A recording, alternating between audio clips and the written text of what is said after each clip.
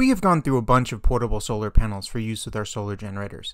We use them often between our blackouts during fire season and our camping trips, and I've struggled to find any that I've really been happy with. I'm going to go over some of the common pitfalls of these devices and how they have come up short in our setup, as well as show you a new product that I think is worthy of your consideration if you want to invest in a system of your own. Though I've owned a bunch of these, for the purposes of this video I'll be focusing only on products that I really did like even if they had major shortcomings. The first style of portable panel is the rigid, difficult to move solar panel, which is based upon a beefed up residential panel that folds into a suitcase. At 25 pounds, these heavy, awkward devices have excellent output and are very sturdy, but a pain to deal with.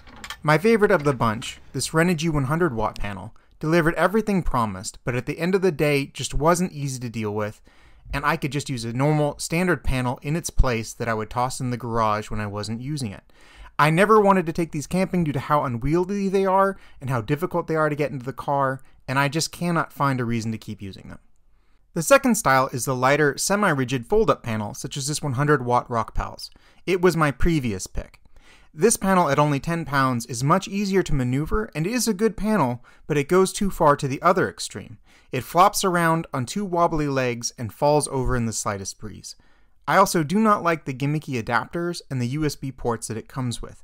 It all ends up feeling cheap and diminishes the water resistance for features that nobody will ever really use.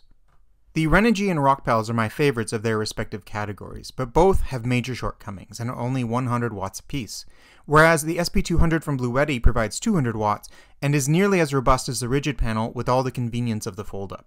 Weighing in at only 14 pounds, it weighs drastically less than the other panels watt for watt, while still being rigid with a much larger, sturdier leg base. It also has four legs, one per panel, and each are held in with elastic bands to keep everything standing strong. The SP200 is also free of the junky USB ports that just invite water problems. It's a single water resistant piece that has a long, high quality, high gauge cable and standard MC4 connectors. It snaps shut nicely using a clasp, and best of all, the SP200 utilizes the industry leading SunPower cells. They have, in my testing, given me more power early and late in the day out of peak power than even the rigid panels that I used. When looking at price, there isn't a massive difference. I'm including the Jackery 200 watt panel in this comparison because they are well known, but I personally didn't like the hard plastic clamshell design they used and so I don't even consider them in my setups.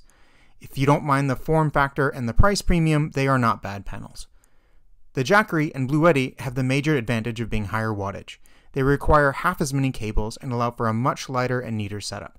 The Jackery does cost an additional 150-ish dollars compared to the rest, and I do not believe it to be worth that premium by any stretch of the imagination.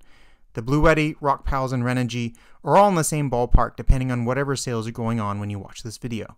All the products mentioned have a similar warranty and all of the companies are well regarded for customer support.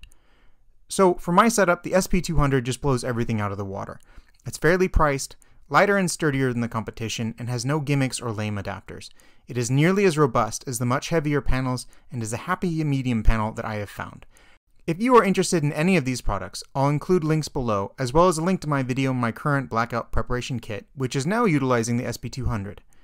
Thanks for watching, let me know if you have any questions. If you enjoyed this video, please consider subscribing.